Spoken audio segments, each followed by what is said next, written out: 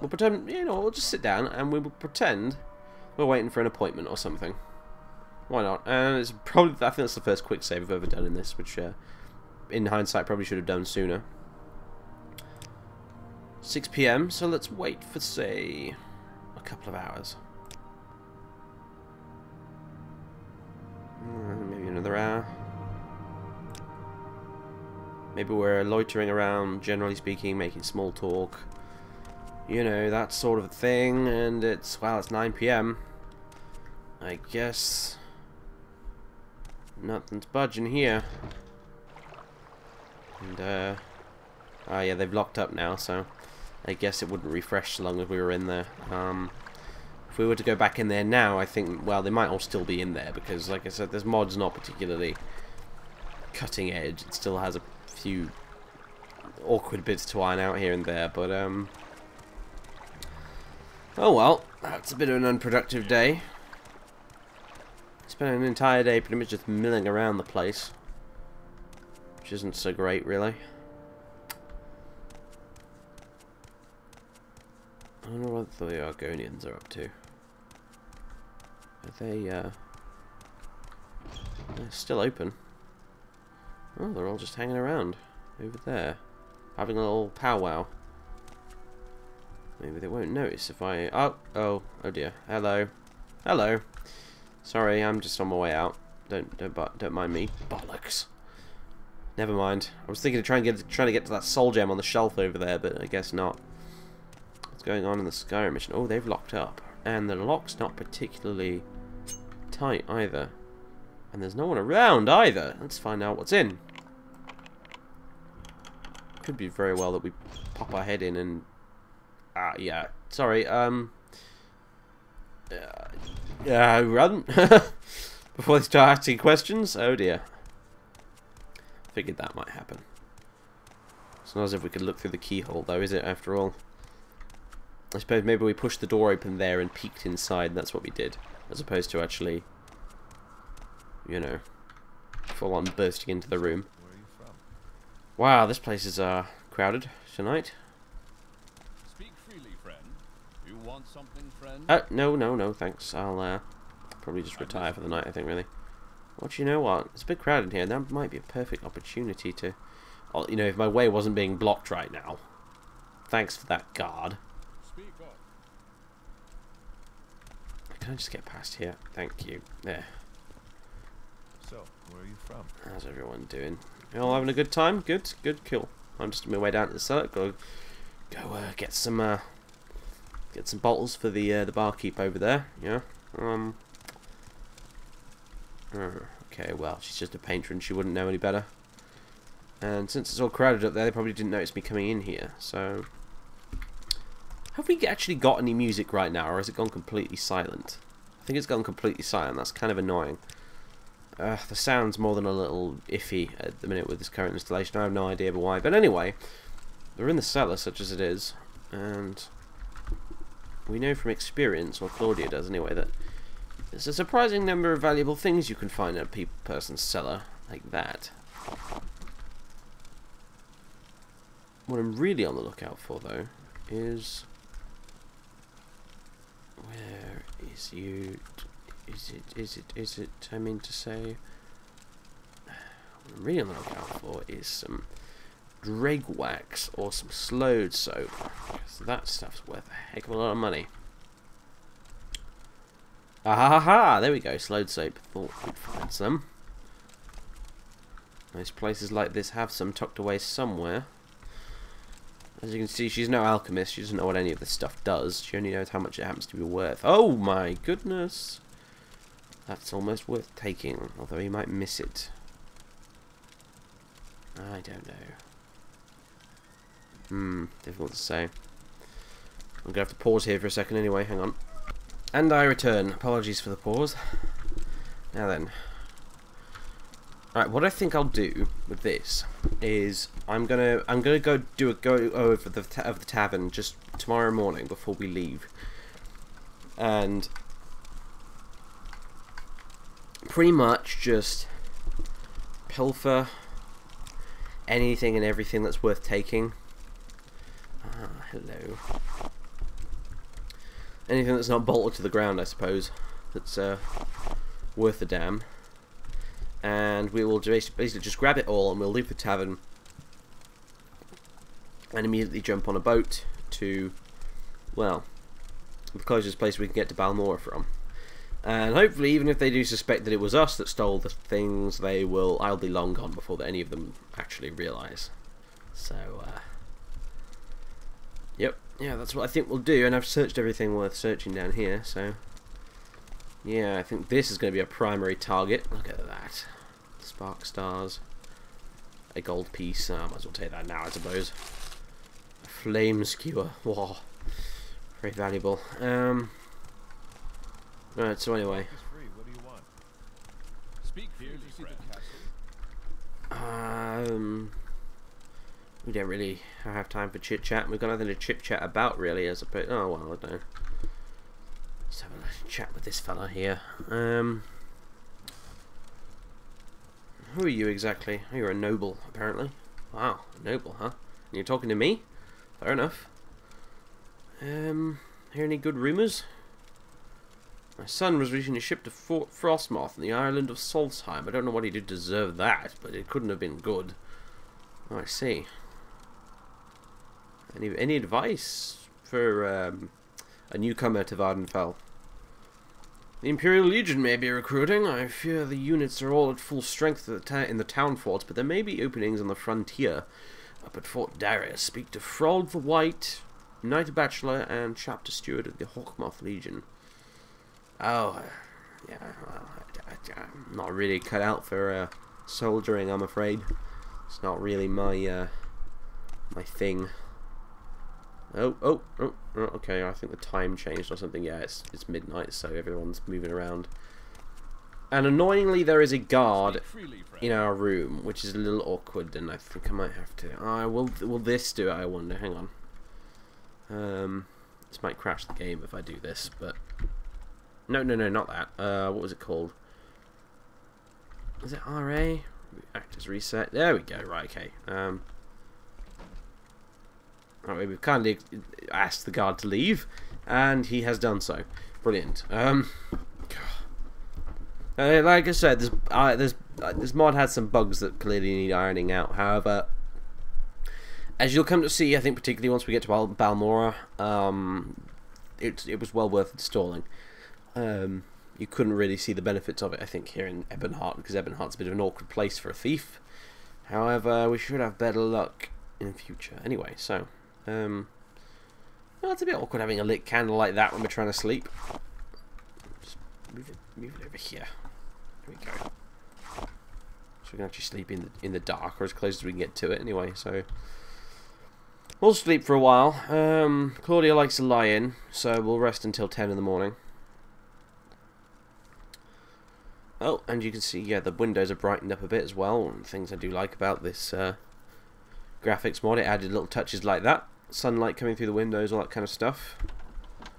And windows that are actually lit up at night. I think you might have seen when we were on our way into the inn, possibly earlier, that the uh, the windows were aglow with the lights from inside here. Ah, a bit empty this morning, isn't it? Well, um, I'll just head, up head back to my room and I'll clear out, ready to leave. That's what I'll do. Yeah, whatever. Right, let's see. We got in here?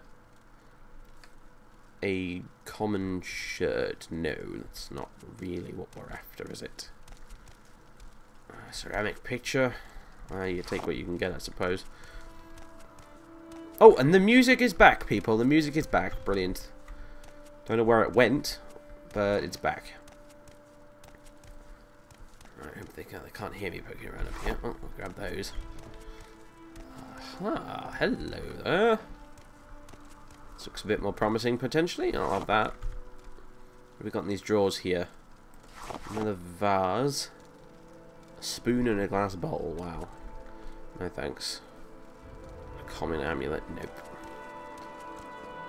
Hardly worth the weight it is to carry. That looks like it's it. Wow, slim pickings indeed. Apart from that, um, stop sneaking before we come down the stairs. Apart from that lovely, lovely spear in the basement. Um, freaking, uh, they're busy talking over there. He's got his back turned. Let's just slip off down here before we're noticed. Grab these, stuff them in our bags. Quickly head back up here before anyone noticed as we were down there. Good. I don't think anyone did. They're busy. Yeah, they're busy chatting. And even if they did notice, it's too late now because I'm headed for the docks. Great.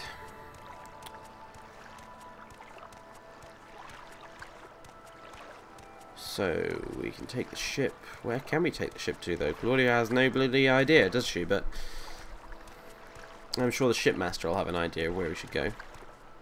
Guard's out doing his fishing again. Uh, wait, are you the shipmaster? No. No, um... I don't think you are, are you? No, you're just one of the deckhands, I suppose. Ah, brilliant. Okay, I need to get to Balmora, so uh, he'll probably tell her that the best way to do that is to jump on a silt strider from the foreign quarter in Vivec, uh, from foreign quarter dock outside of Vivec, so that's where we'll go. Pay him 8 gold. Which is actually quite a bit, really, considering we only have about 25 to our name. How much do we have now? Yeah, 18 gold. God only knows, I hope it's enough to pay for the trip. If it's not, we can always pop into Vivec and sell some of our sundry pilfered goods there and then maybe afford the trip to Balmora, but we'll check how much it is to begin with, shall we?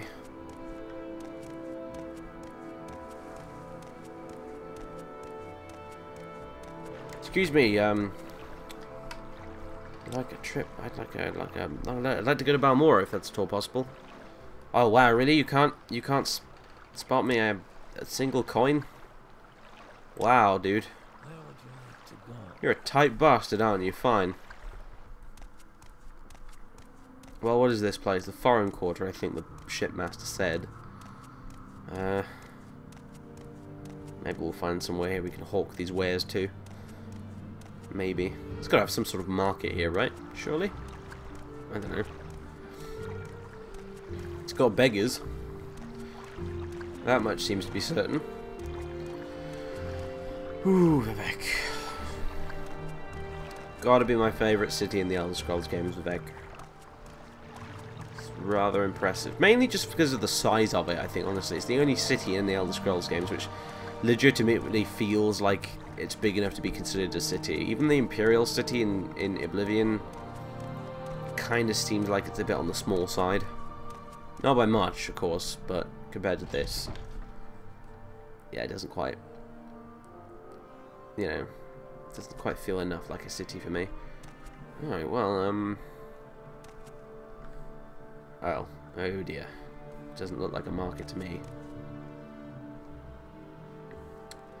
Maybe we should ask someone for directions. That's a, probably a good idea. It looks pretty impressive though, regardless. Can you ask your Oh, is that a guard? That's... Wow, look at that armor. Go on about your business. I don't think I want to cross him. Um, anyway, so, um... Excuse me. Greetings, fair Imperial! Would you by be by, by chance be looking for some new talent for a theatre company? No? Uh, well, perhaps you might be interested in some fine trinkets instead. Uh, no, no thanks, actually. Um, I'm looking for some specific places around here. I haven't wandered from the foreign quarter since I got here. Perhaps asking someone else would be a better idea, hmm? Oh, okay. Fair enough. That there, in case you didn't realise, was the less generic NPC mod in action. The Vivec Foreign Quarter is one of the areas where it adds unique dialogue to. Oh, hello. Oh, uh, excuse me. Excuse me. Um, it's hate to bother you. Uh, hello, I am Seren Othralen, noble and pilgrim. Welcome to Vivec. If you want to know anything, just ask. Oh, brilliant. Um, well, uh, you, uh, I'm kind of trying to find my way around this place, really. I was very young when I was on the pilgrimage on the, of the Seven Graces. I remember marching through the Ghost Gate, up, upright and proud as I approached the shrine just within the fence. After I worshipped at the shrine, I was inspired and emboldened, Contemplating on the greatness of the tribunal, with the recklessness of youth, I forged up its slopes with the intent of cursing upon the fane of Dagoth Ur from the rim of Mount Red Mountain's crater.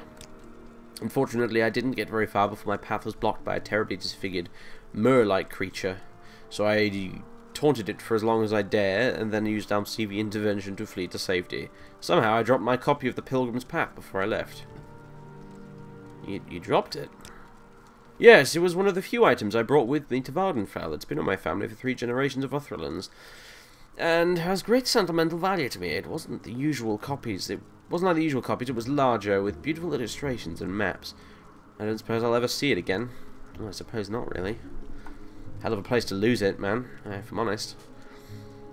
Well, that wasn't very helpful, if I'm honest. Maybe if I ask him about Vivec. Show respect, Outlander. This is the holy city of Vvardenfell, home of Lord Vivec. Second only to Almalexia's city of Mournhold. Here is located the Palace of Vivec, the High Fane of his temple. Uh, um, the Ministry of Truth, House Hlaalu, House Redoran, and House Telvanni have their own cantons. The Redoran compound is one directly south of here across the bridge. Uh, the Hlaalu and Telvanni compounds flank the west and east respectively. Uh, da, da, da, what can you tell me about the foreign quarter, though? Can you tell me anything about the foreign quarter? I would really appreciate it if you could. Kind of thinking maybe you don't. Maybe if I ask about the cantons. Nope. No, apparently not. Well, that's that's a shame, isn't it? Um. Really? I can't ask him about the foreign quarter? That's, that's a bit nuts. I, yeah, I'm not going to ask you for directions. Um. Oh, hello. Hang on a minute. Apothecary. Uh, maybe she'd buy our Sload soap and stuff. Uh, that could be enough to get us to Balmora, actually, now I think about it. Okay, well, um, hello. Wow, it's a pretty modest setup you have here, really, isn't it? God, you got your shop set up in your own bedsit, wow. Um, a fair day to you, thief. What? dear. Uh, oh dear.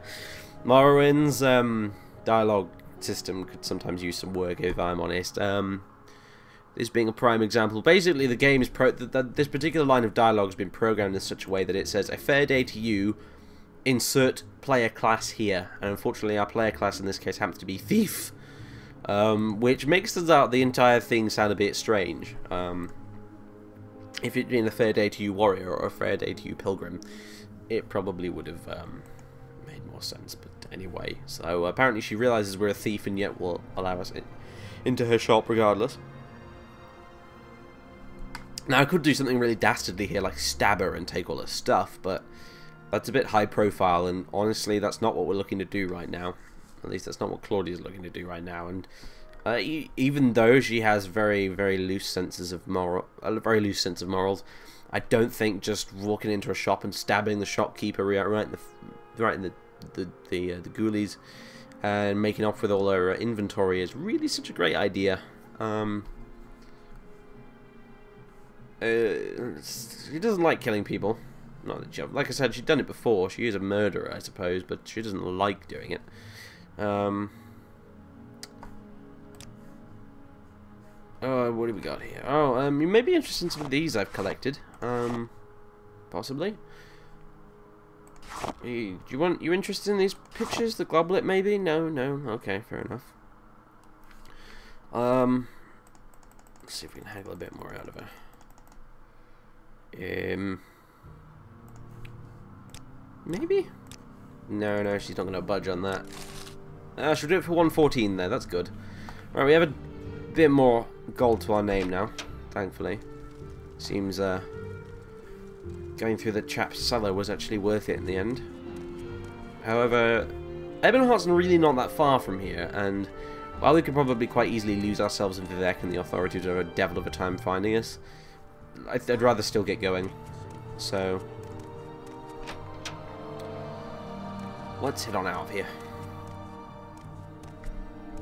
Yeah, as you can see, we also have new running animations. Um, one of the many, many, countless things added by the graphics and sounds overhaul.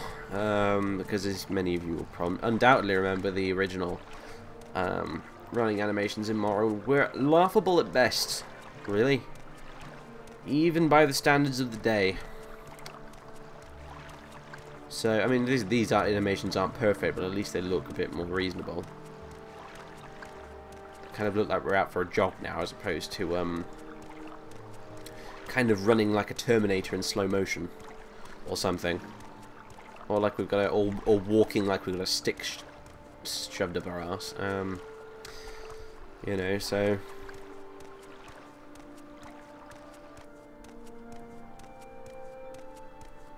Let's head on over to the Silt Strider, and I think we should definitely, definitely be able to afford the trip over to Balmora. I can't believe this guy wouldn't let that slip that one gold coin. That's ridiculous.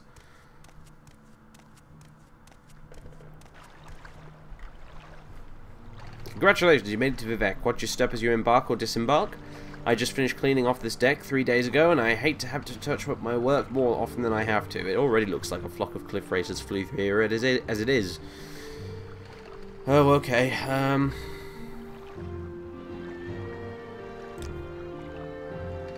I'm Dunmer, obviously. However, I'm also the latest in a long line of uh, Saddlevales to work as a caravaner. I guess you could say it's a family business. Oh, really?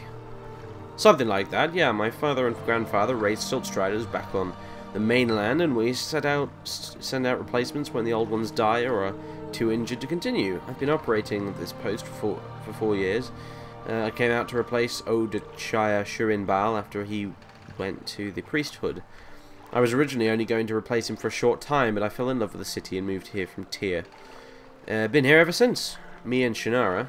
Pat, he pats the, uh, the Strider shell affectionately. it, oh, his name, does it? That's my girl, Shannara. She came up with me when I left Tear, and the old operator took his bug with him into retirement. She's only 17 years old, but she's doing well for such a young thing. Silt Striders generally live as long as 150, so they tend to need frequent replacement if one keeps his post long enough. Some call me foolish for naming her, but she and I have always been fairly close. Uh-huh. I was there when she was hatched, and she was the first Strider I took an active role in raising. She's always been in in instinctually responsive to my commands, and would even settle down for me when she wouldn't obey anyone else. It's a little disheartening when you're away from home you've got known since birth, um, I, but I think we both like our new home even more.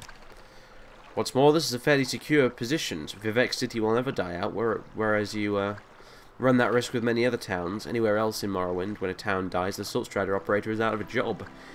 And no one much likes the thought of hiring an old, used Silt Strider. Right, well, enough chewing the cud with this fella. Let's actually get on our way, shall we? To Balmora. Ancestral seat of House Hlaalu. In Vvardenfell, at least, anyway. Oh, here we are. It's uh, 7 p.m. It's kind of foggy. But uh, we've arrived regardless. In, in, in, such as we are, a bit of a state really. We've not uh, not had a wash in a few days at least. Still wearing the same set of clothes. Horrible set of clothes as well, for that matter. Some random organic. I wonder if there's anything in these. Uh, just old Kwama egg. Uh, bits of food, probably spoiled food, really. Ugh, yeah, it's all just junk. Never know, you might find it in, in, in, a, in a random crate while nobody's looking there, of course. And nobody, in fact, is looking. In fact, this place is pretty deserted. I suppose they're all at the pub. Uh, speaking of pubs, though, perhaps we should book ourselves a room before it's too late, you know. Uh, is this... I saw. I thought I saw a thing. A lucky lockup. I suppose this is what counts for an inn around here. Wow, yeah, this place is full of people. Okay, cool. Um, hello. Huh? Clagius Clanler. As you can see, yeah, it's I think it's raining outside, so you can actually hear the rain in here. Because I have a mod that does that. I think it's pretty neat. It's probably the only sound mod I do have installed, actually, is one that allows you to hear outside weather inside. So if there's a thunderstorm out there, it will sound in here like there is a thunderstorm going on, which is pretty cool.